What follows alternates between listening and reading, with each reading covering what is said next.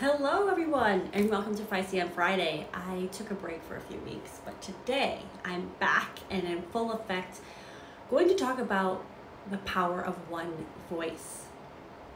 And before I kind of dive into that, I just want to acknowledge and honor what today is, uh, because today is September 11th. And I know there's a lot of people out there um, still going through intense emotions on this day.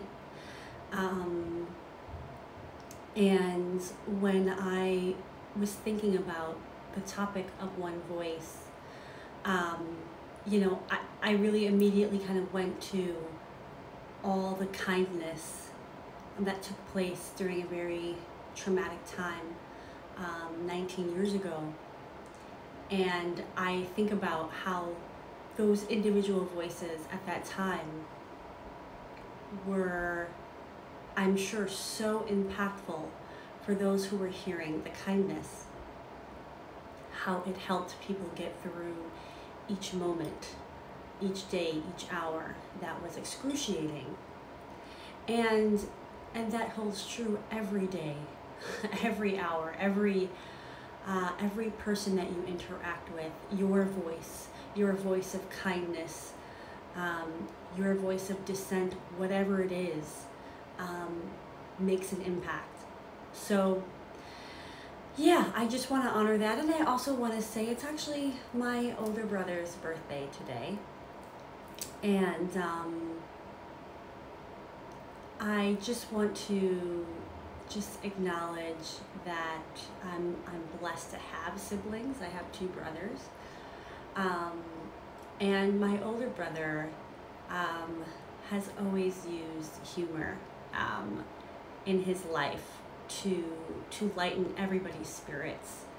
Um, and that is that is definitely one tool about how we how we use our voice. Um, we can use it for laughter. We can use it for lightness. We can use it um, for uh, so many different things. And it's funny because sometimes I get really frustrated. this is my own stuff. When I see that people are in positions to use their voice and they choose not to. Um, it, it makes me so sad of the fear that holds us back from using our voice. Um, it makes me think of that Alicia Keys song, um, when a girl can't use her voice no more, I just want to cry. I just want to cry for the world. And that is like such how I feel about the people that have the power and they're afraid to use it. And we all have that power. Um, and I think in a, in a moment in time, especially when we're feeling hopeless, and and helpless um, that we have to come back to this notion that one person does matter that we can make a difference and it's very hard to see sometimes the ripple effects that we have on people um, and Shige, I'm so glad that you're here. And this is a great example. The fact that my friend is here with me it just uh, it, it brings me such joy to know that what I'm doing matters. So just just your presence alone. See, I'm getting all emotional. Just your presence alone gives me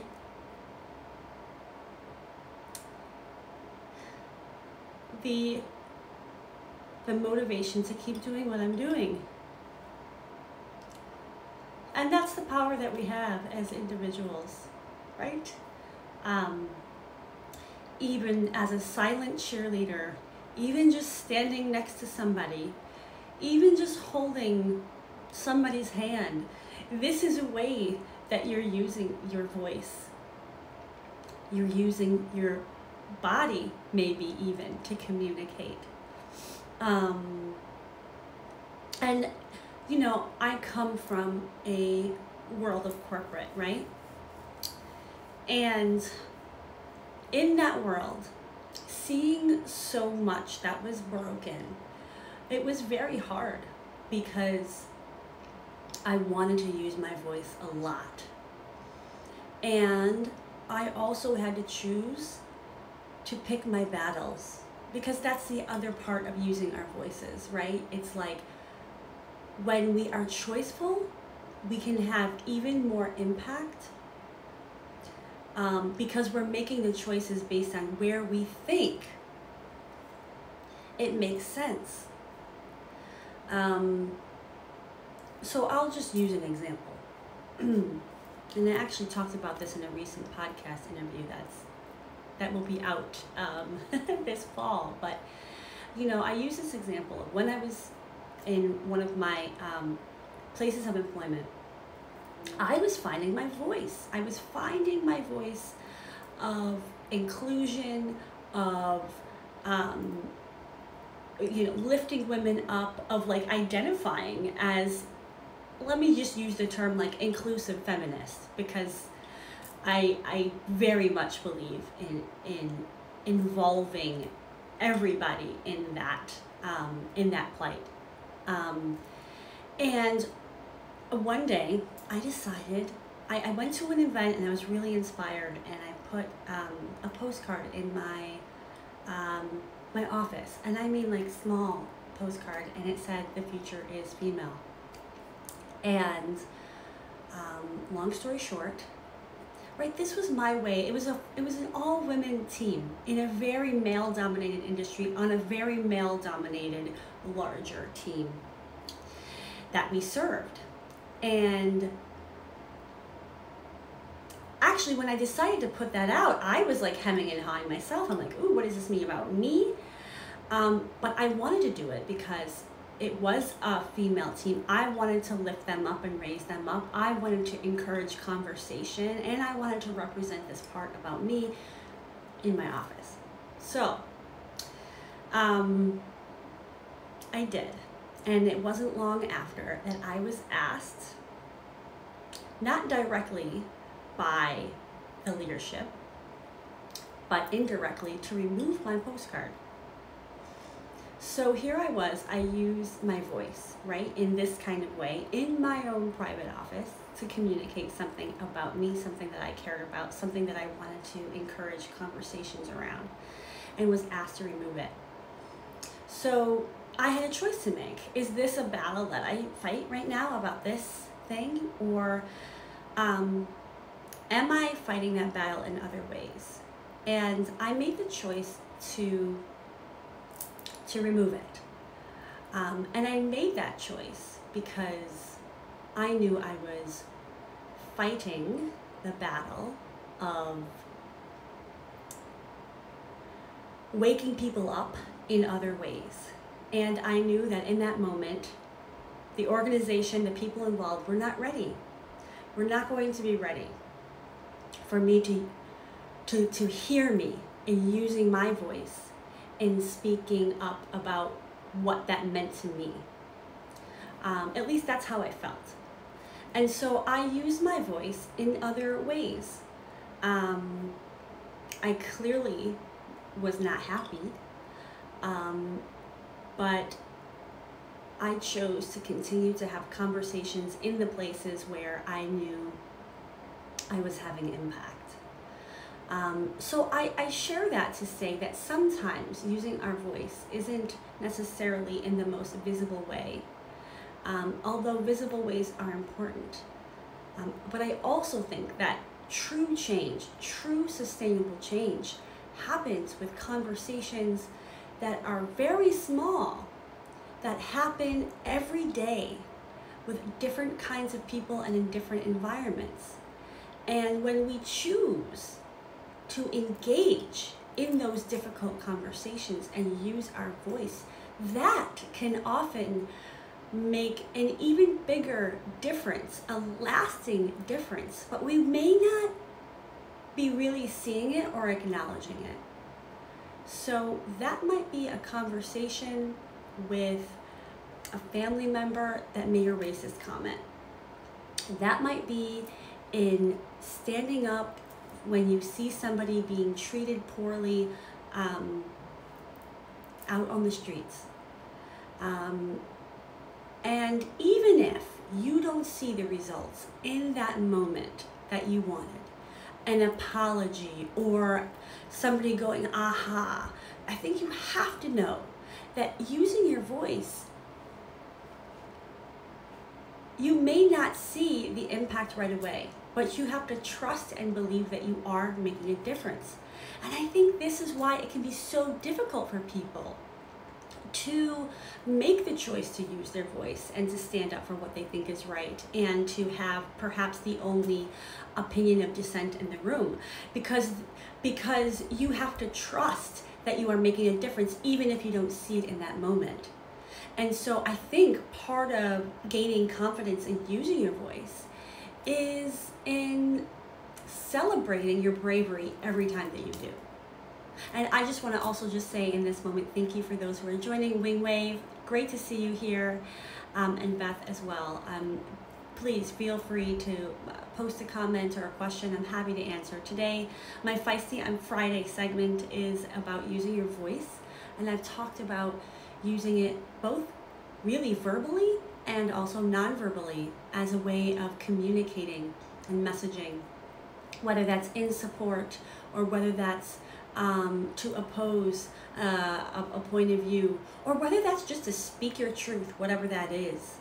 Um, and so a lot of you know the work that I do in coaching is also helping people find their voice. Um, and, and myself, I'm still working on it of speaking up, um, even if I'm really nervous, um, even if I'm afraid of backlash. Um, even if I'm afraid of my own truth of, of even acknowledging it. Um, but there are there are definitely things that we can do to help us be more confident and in, in using our voice and using our messaging, um, which first of all, education is a big is a big thing. You know, if you want to speak out about a topic, um, but you feel ill prepared, you can definitely research about it and feel more confident that you have some structure. Um, and, and, this comes up in, in, the, in the world of kind of what's happening with racism in America. Um, I think a lot of people want to speak up about it, but they feel ill prepared. So go do the work. Go read the books. Go get more comfortable with the language that you're using. Um, at the same time, know that it's okay to make mistakes know that it's okay that things aren't going to come out exactly the way that you want. And yes, you may spend uh, hours, maybe even days afterwards, just you know, beating yourself up about what you said because you wish you said it differently. And part of the process of using your voice is also being kind to yourself and saying, you know what? But my, my goal was bravery and not perfection. And so it's okay. And I'm not going to beat myself up about using my voice um, that's a journey. Um, so I just implore everybody who's listening to know that there's a lot of different tools that you can use to get yourself more comfortable um, and more kind to yourself as you as you come into your voice. Um, also finding support, you know, when you do stand up and you feel nervous and maybe there were some negative consequences as a result you know, reaching out to people that can support you in in letting you know it's okay and it was awesome that you used your voice for good. Um, and that could be friends, that could be therapists, that could be coaches, that I mean, all kinds of people. And I'm going to introduce a maybe a, a new topic for some of you, but there's something around um, you know, our different energies that we carry with us, right? And sometimes we can be blocked with different energies. So maybe we're blocked in our love life. Maybe we're blocked in speaking out. Maybe we're blocked in feeling connected to something greater than ourselves. And that can be linked to this concept called chakras. So there's seven different energy um, sources within us. And you can definitely look up all about the chakra system, like it's everywhere. Hey Jen, nice to have you here. Um, talking about using our voice uh, for change, for good, for impact. Um, and started talking about the chakra systems as a way of talking about the different energies that we have and the fact that we may be blocked with certain things. Um, and this is something that I've worked with with my own healing process. Um, and one of the chakras is the throat chakra. Um, and you may even feel energetically when you want to say something but you're really nervous and you kind of you physically feel like restricted in your in your throat um, maybe you feel like it's closing. Um, maybe you start coughing. I don't know. There's like a lot of different kind of physical symptoms that may come up to indicate to you hey like there's some blockage going on in this energy source this this throat chakra source. And there are different ways that you can work through that. Um, in setting intentions to clear that, there are definitely different types of healing modalities that deal with energy systems. Um, so I just invite you, um, as just one way of exploring, if you want to use your voice more, that's that's something that you can explore and maybe helping you um, release some of your own blocks regarding that. Um, yeah, I think that we I talked a little bit about fear, fear holding us back from using our voice, um, fear of consequence, maybe even fear of offending. Um, but I think there's even a bigger fear that is around fear of really acknowledging our own power. Because there is such power in using our voice for change. And maybe underneath all these other fears are, are, is a fear of what does it mean if I can actually make a change? That's a powerful thing. And am I afraid of that more than anything else? And if you really do the digging, you might find out that that is actually the truth. Um, to know that you can help people see things a different way, to know that you can impact somebody making a different choice in their life.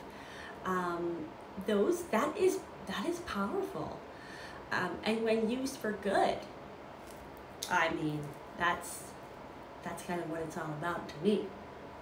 Um, but I think in these times, you know, when there's when we can tell ourselves stories of complexity, when we can tell ourselves stories of powerlessness, um, I really want to encourage everybody to come back to this idea that it only takes one person. Only takes one person. And, and I think that we, you know, we can see uh, things that we will interpret as it's I'm not enough. I'm not enough um, to make the impact that I want. But you are. But you are. Um, and it's again, it's these ripple effects. It's these these these small conversations. It doesn't have to be on this major platform. It doesn't have to be on a TED talk. It can just be, you know, you're interacting with the woman at the checkout, you know, and maybe you're standing up for somebody that was treated poorly or unfairly.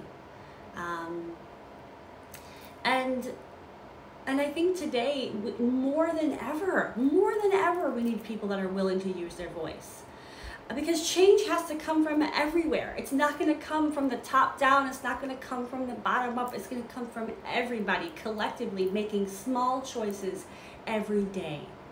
And that's the power you have to make small choices every day about how you're going to use your power and your voice.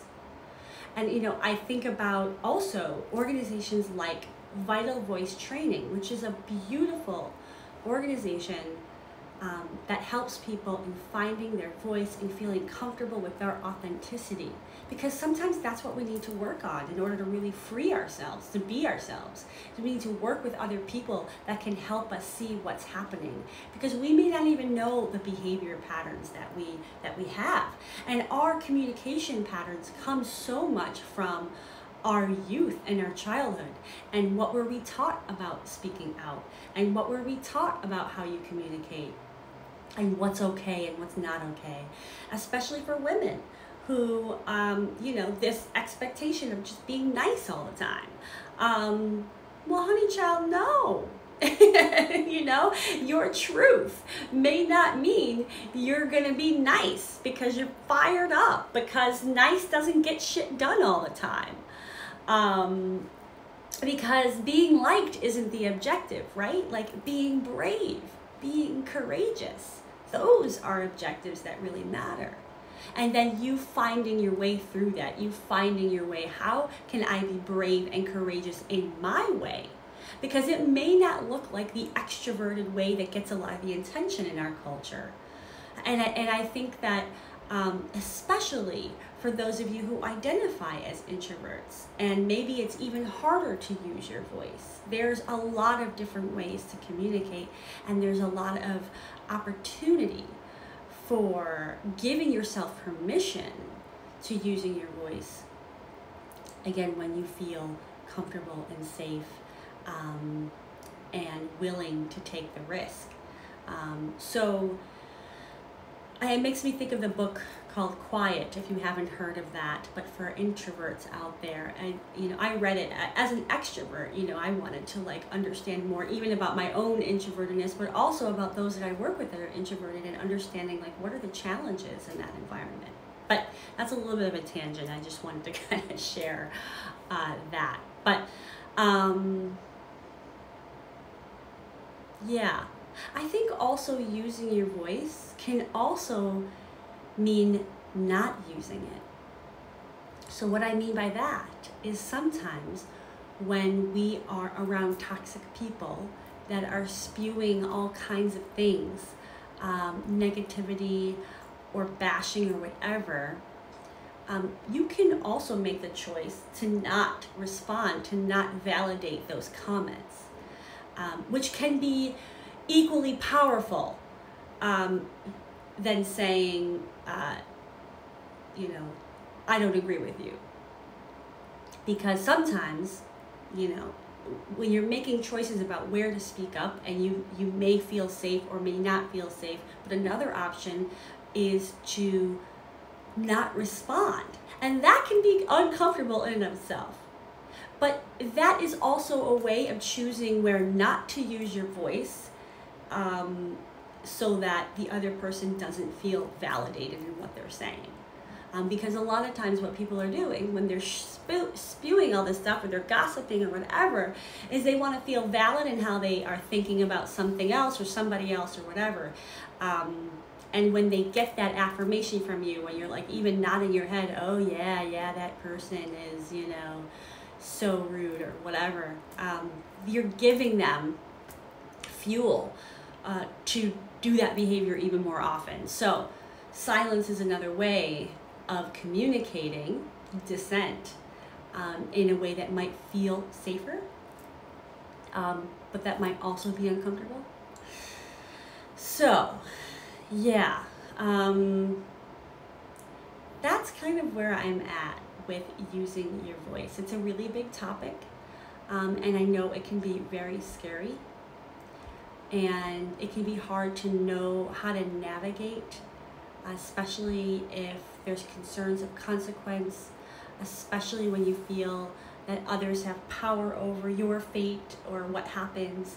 Um, but some of, I think, where we are in the world today is that we need more people taking risks and more people being willing to experience the consequences for what is needed in the world right now which is to uh, to remove the toxicity, to acknowledge the wrongs um, in in how people are treating each other right now, um, to stand up to nonsense, uh, to stand up to, to things that are not based in truth. Um, and because the ultimate consequence, right? The ultimate consequence of not using your voice can be people die. You know, and I think that that example is unfortunately uh, very front and center right now. Very front and center. That the ultimate price that we pay by not doing the work to to find out how we can use our voice is that lives lives can be lost because we continue to let the status quo go because we are paralyzed by fear of what it would mean to to stand up to power. So, on this Feisty on Friday, I am going to say to you, find the power within, use your voice, experiment. You can do it in small ways and move up to bigger ways, whatever works for you. And yes, again, you're right. It is a choice. It is a choice of, of where we put ourselves out there and where we're vulnerable and where we choose to fight our fights. Um, and I'm just encouraging you all to do it, experiment with it in a way that um, feels good and authentic to you. And if you want to learn more about how you can do that or discover that for yourself, please feel free to reach out to me at breakthrough at toscadimatteo.com. You can also visit my website at toscadimatteo.com to learn more about what I do in the world of coaching and consulting. So thanks for joining Feisty on Friday. I appreciate all my guests that came on today. Um, and yeah, let me know the stories of where you're using your voice. Ciao for now.